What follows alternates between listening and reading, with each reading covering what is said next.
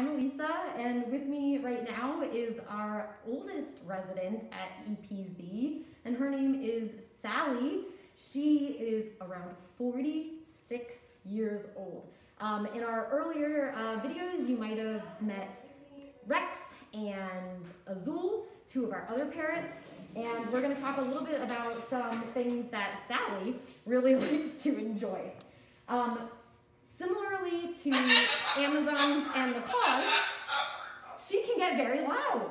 She also is very destructive.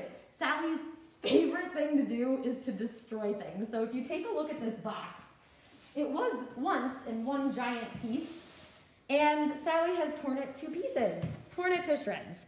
She loves to tear up cardboard and wooden toys, and it's actually really good for her because it helps to naturally grind down her beak. In the wild, parrots are going to be um, holding on a lot more to different types of bark, so that's gonna get their nails and their beak trimmed down naturally, whereas we need to provide those materials for them. If you can see, this is an example of a perching that was in Sally's enclosure, and you can see that it is uh, torn a whole bunch, chewed a lot, and the bark is almost completely gone. And this is a new perch. This is what they're supposed to start off and look like.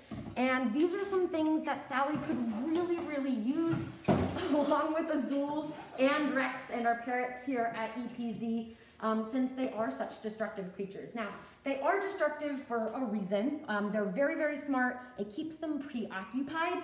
Sally could potentially live to be in her 90s. So again, she's 46, so she's got a, hopefully another 45 years to go. She's going to be here with us at EPZ for quite a long time. Um, so we wanna make sure that we provide as much of a wonderful home for her as possible. These guys really should be out of their enclosure anywhere from four to six hours a day. So we need to give them toys constantly to keep them preoccupied. And the perching is something that they like to tear apart, so we need to provide them lots of different perching quite frequently. So maybe a toy that you give to your cat or your dog could last months to a year. Toys for parrots, they do not last nearly as long. Maybe a couple weeks, um, if we're lucky, a month or two. Um, so going back to getting these guys out for enrichment because taking them out of their enclosure and exploring different areas in the zoo is an enriching thing for these guys. Um, we have various perching for her to go on. If you saw Azul and Rex previously, you saw that they were on two different perches and the wood wears down after a while, things break apart. Um, this is actually quite broken as well. She's had this for a long time. It still functions, but we're trying to look for some more up-to-date and uh, aesthetically pleasing and safer uh, perches for our parrots, and we can't have enough of them. Um, if we want to take these guys in various places of the zoo, having multiple perches for them to go on is definitely something that we could use. So if you're willing to support EPZ, you can definitely head to our website and um, you can click the drop down support button and you can then see our Amazon wish list and some of those perching items are there. Um, something that Sally uh, really likes, as you can see, is walking or running on the ground.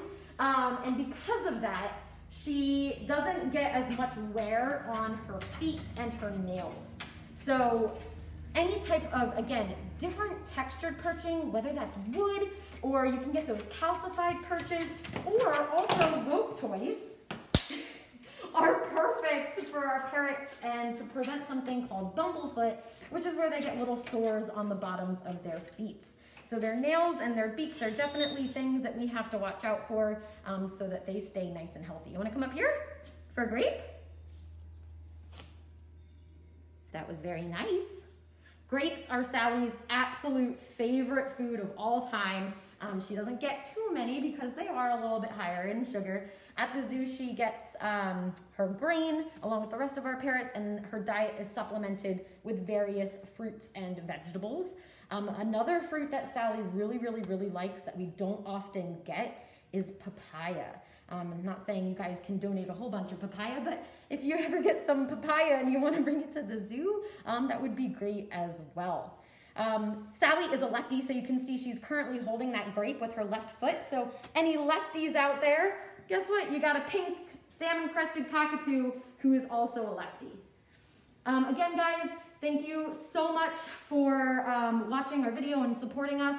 If you want to head to our website, you can check our Amazon wish list to see some of the materials and items that we're looking to get. Um, we really appreciate it. And uh, we're going to end with Sally saying goodbye. Can you say goodbye to our audience? Wave goodbye. Good girl. Thanks, guys.